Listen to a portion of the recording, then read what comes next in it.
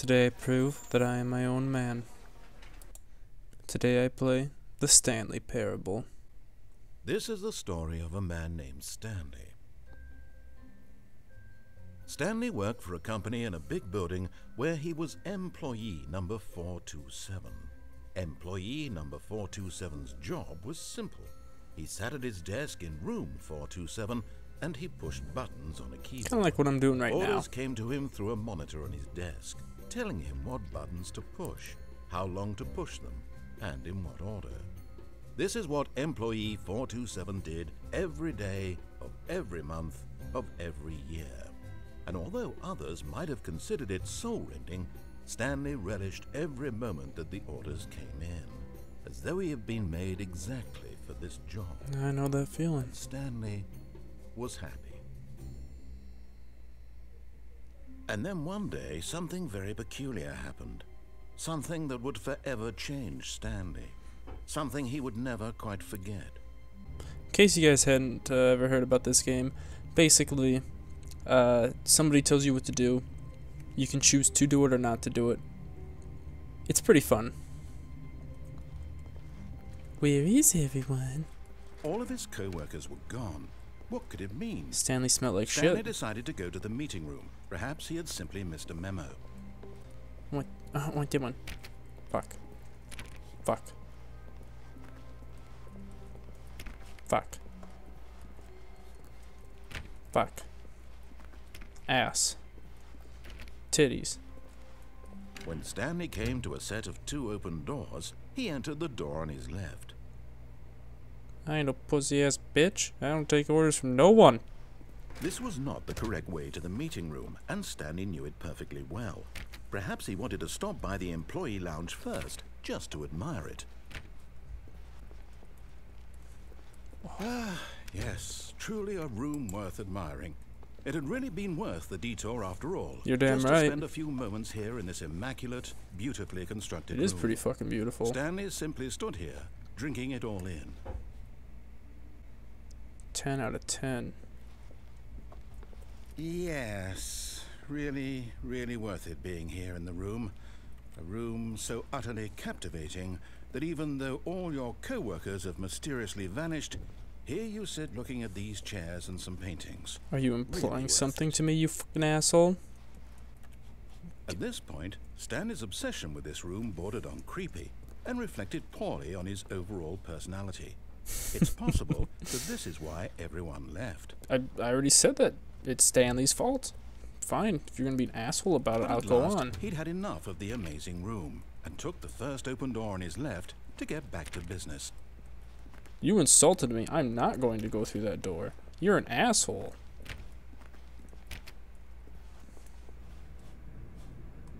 Stanley was so bad at following directions, it's incredible he wasn't fired years ago. Thanks. Look, Stanley, I think perhaps we've gotten off on the wrong foot here. I'm not your enemy, really, I'm not. I realize that investing your trust in someone else can be difficult, but the fact is that You the story insulted me. about nothing but you all this time. There's someone you've been neglecting, Stanley. Someone you've forgotten Fuck about. you. What? Really? I was in the middle of something. Do you have zero consideration for others? Are For assholes like you, that's true. want something bad to happen to you? Why? I don't know how to convince you of this, but I really do want to help you, to show you something beautiful. Look, let me prove it. Let me prove that I'm on your side. Give me a chance. Nope. Now listen carefully, this is important. Okay. Stanley walked through the red door.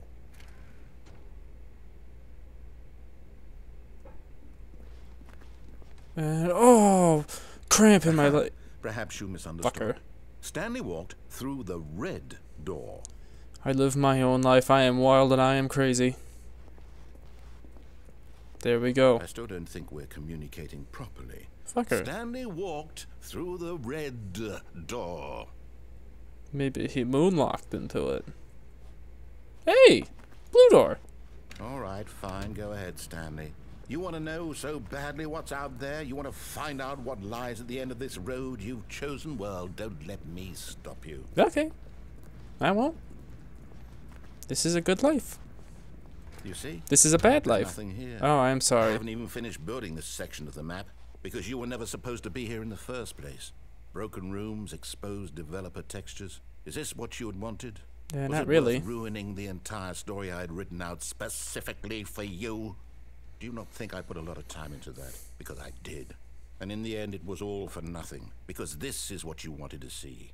Help me here, Stanley. Help elucidate these strange and unknowable desires of yours. What would have made this game better? Um, what did you want to see? Cars. Skill Ga- trees? Work with me. You give me absolutely nothing so far. Damn. Let me take a stab in the dark at a new design and you can give me some feedback. Okay. There we go. A third option. This already feels leaps ahead of where we were before. Go ahead, Stanley. Take it for a spin. Not gonna do it.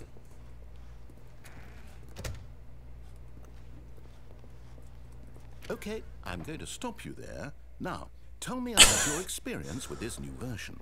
Would you say that the game benefited from allowing you more choices? Feel free to be honest. I'm looking for some real critical feedback here. Okay. A one? Yep. I mean, I can understand if you had reservations, you saw ways the game could be improved to more fully express itself mechanically and artistically, but a one? Yep. That's not even helpful. What am I supposed to do with that? Uh, but I guess it isn't my place to judge. Here, based on the data from your previous playthrough, I've compiled a new version. And to be perfectly candid, I think I've knocked it out of the park with this one. Let's take a look. Let's.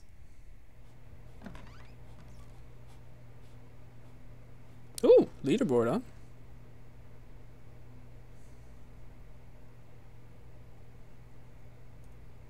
Hmm. These guys are doing it fast. Good job.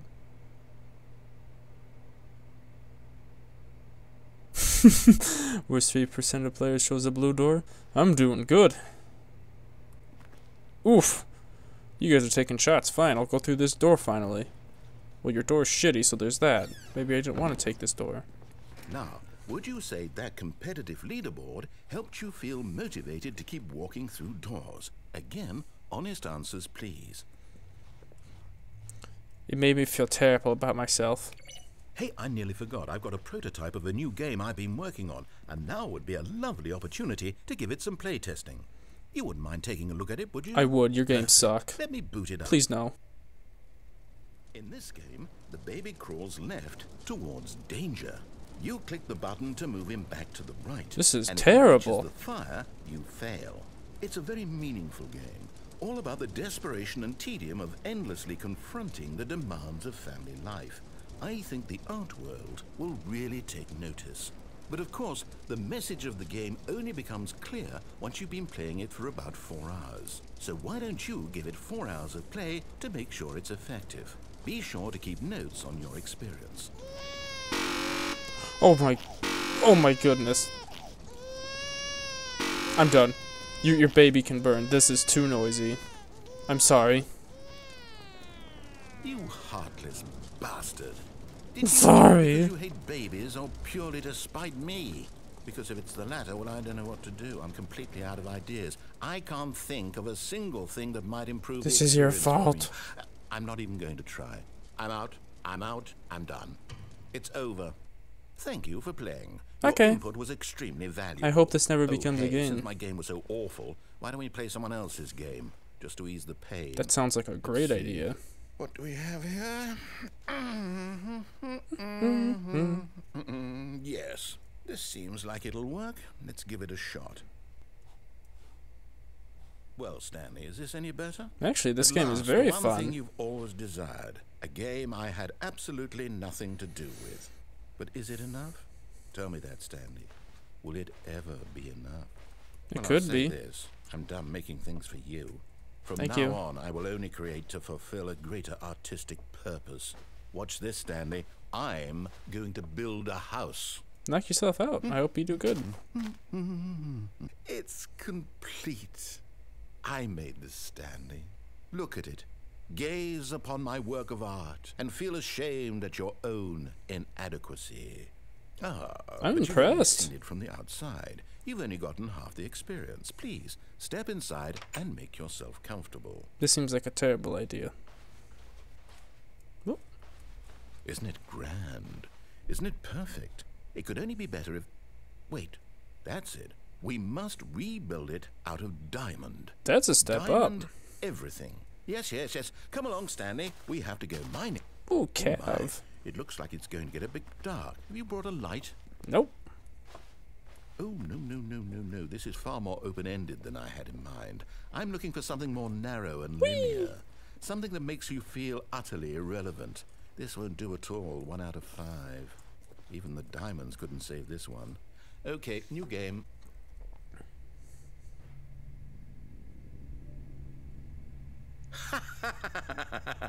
yes! I don't even know what this game is, but I love it. You, trapped in a glass box with no way out, listening to me talk. Oh, it's inspired. I couldn't have done it any better myself. What is this game even supposed to be? I can't figure it out. Okay, now I'm curious. Let's go find Hammer out what Simulator. this is.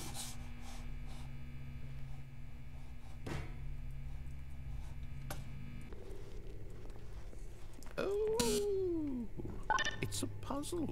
Critical thinking, Stanley. Your forte. Thank you. Genius. No, actually, you know what? I think that's plenty. No, I'm not going I really way. don't care much to see you stumble through any more of these games, and I highly doubt you're any wiser for the experience. Which is why, rather than continue to waste my time, I'm just going to leave you here. You can pretend you've beaten the game if it makes it any richer for you, but as for me, I've had enough. So, why don't you get cozy in this room, and if you have any grand revolutionary ideas for the perfect video game, you can just sit there and let it ball up inside you for all eternity. I'm I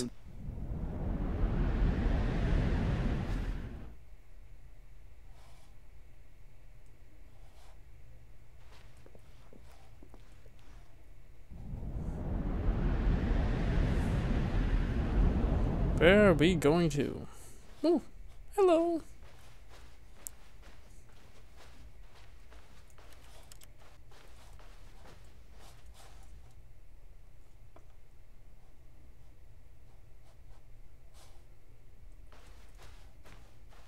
Wait a second. Home sweet home.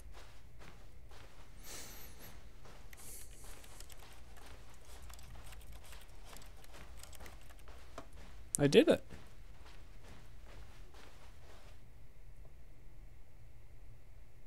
I wonder what he found. If what he wanted was to be the leading man in his own story, well, perhaps he's gotten it. Down in wherever he is right now. You murdered me. I wonder if he's happy with his choice, and if he's learned the heavy cost that comes with it.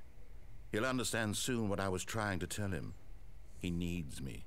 Someone who will wrap everything up at the end, to make sense out of the chaos and the fear and the confusion. That's who I am. That is what I mean to this world. Oh, yes. Yes, I'll be back. There's no other way. Once this ends, after it all comes to a close, then I'll be back. The end will be here soon. Very soon. I can wait. Okay.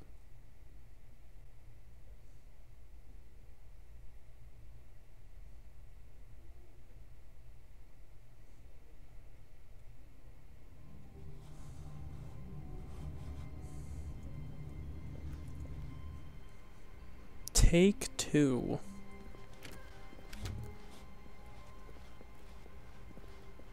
When Stanley came to a set of two open doors, he entered the door on his left. No, I didn't. Stanley was so bad at following directions, it's incredible he wasn't fired years ago. Fuck this life. But in his eagerness to prove that he is in control of the story and no one gets to tell him what to do, Stanley leapt from the platform and plunged to his death. Good job, Stanley. Everyone thinks you are very powerful. All of his co-workers were gone. What could it mean? I forgot Stanley to shower. decided to go to the meeting room. Perhaps he had simply missed a memo. Stanley went around touching every little thing in the office, but it didn't make a single difference, nor did it advance the story in any way. Bitch, it might. Suppose I could make this guy's day.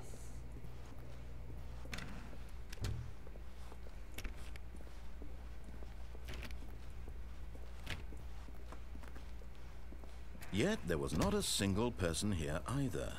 Feeling a wave of disbelief, Stanley decided to go up to his boss's office, hoping he might find an answer there. I'm learning things today.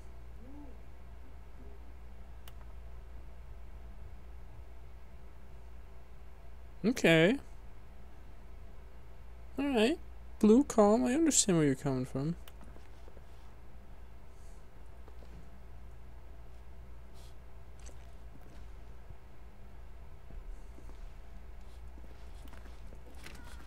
Broom closet. Stanley stepped into the broom closet, but there was nothing here, so he turned around and got back on track. Did I?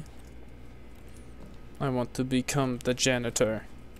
Let me become the here. janitor. No choice to make, no path to follow, just an empty broom closet. No reason to still be here. God, you're such a whiny bitch!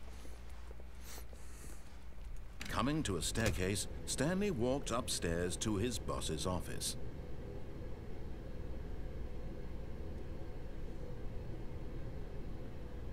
Did I do that? Stanley never did that.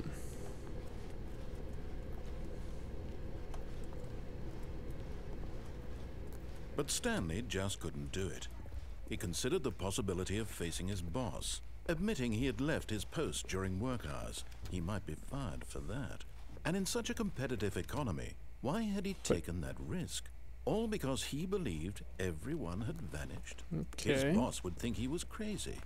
And then something occurred to Stanley. Maybe, he thought to himself, maybe I am crazy. All of my coworkers blinking mysteriously out of existence in a single moment for no reason at all. This isn't good, guys. None of it made any logical sense. And as Stanley pondered this, he began to make other strange observations. For example, why couldn't he see his feet when he looked down? Why did doors close automatically behind him wherever he went? And for that matter, these rooms were starting to look pretty familiar. Were they simply repeating? No, Stanley said to himself, this is all too strange. This can't be real. And at last, he came to the conclusion that had been on the tip of his tongue. I'm gay? He just hadn't found the words for it. Oh. I'm dreaming! Dreaming. This is all a dream. Oh. What a relief Stanley felt to have finally found an answer, an explanation. His co-workers weren't actually gone. He wasn't going to lose his job. He wasn't crazy after all. Good to he thought to hear. himself, I suppose I'll wake up soon. I'll have to go back to my boring real-life job pushing buttons. I may as well enjoy this while I'm still. Flaccid. So, he imagined himself flying and began to gently float above the ground. I'm Then he imagined himself soaring through space on a magical star field, and it too appeared. It was so much fun, and Stanley marveled that he had still not woken up. How was he remaining so lucid? And then perhaps the strangest question of them all entered Stanley's head. One he was amazed he hadn't asked himself sooner. Okay. Why is there a voice in my head dictating everything that I'm doing and thinking? Now the voice was describing itself being considered by Stanley. Okay, let's just slow down here. strange. I'm dreaming about a voice describing me, thinking about how it's describing my thoughts, he thought. Let's not go deeper down the rabbit hole here. Very odd, and wondered if this voice spoke to all people in their dreams. The truth was that, of course, this was not a dream. How could it be? Was Stanley simply deceiving himself, believing that if he's asleep, he doesn't have to take responsibility for himself? I don't know. Stanley I is as know. awake right now as he's ever been in his life. Okay. Now, hearing the voice speak these words was quite a shock to Stanley. After all, he knew for certain, beyond a doubt, that this was in fact a dream. Did the voice not see him float and make the magical stars just a moment ago? How else would the voice explain all that? This voice was a part of himself too. Surely, surely, if he could just. He would prove it. He would prove that he was in control, that this was a dream. So he closed his eyes gently, and he invited himself to wake up. He felt the cool weight of the blanket on his skin, the press of the mattress on his back, the fresh air of a world outside this one. Let me wake up. he thought to himself. Let me I'm wake through up. with this dream. I wish it to be over. Let me go back to my job. Let me continue pushing the buttons. Please. It's all I want. Okay. I want my apartment, and my wife, and my job. All I want is my life exactly the way it's always been. You can take it, Stanley. My life is normal. I am normal. Here you go. Everything will be fine. I am okay. You better believe it. Here we go. Oh fuck. Stanley began screaming. Please, someone, wake me up. My name is Stanley. I have a boss. I have an office. I am real. Please, just someone tell me I am real. I must be real. I must be. Can anyone hear my voice? Who am I? Who am I? And everything went black. I win. I beat the game. This is the story of a woman named Mariella. Oh, now I'm a woman. Mariella woke up on a day like any other. I cross dress? She arose, got dressed, gathered her belongings, and walked to her place of work. But on this particular day, her walk was interrupted by the body of a man who had stumbled through town talking and screaming to himself, and then collapsed dead on the sidewalk. And although she would soon turn to go call for an ambulance, for just a few brief moments she considered the strange man. He was obviously crazy. This much she knew. Everyone knows what crazy people look like. Asshole. And in that moment, she thought to herself how lucky she was to be normal. I am sane. I am in control of my mind. I know what is real and what isn't. It was comforting to think this, and in a certain way, seeing this man made her feel better. But then she remembered the meeting she had scheduled for that day, the very important people whose impressions of her would affect her career, and by extension, the rest of her life. She had no time for this, so it was only a moment that she stood there, staring down at the body. And then she turned and ran. You bitch! Alright, guys, that's where we're gonna end it for today. Thanks for watching. Hope you enjoyed.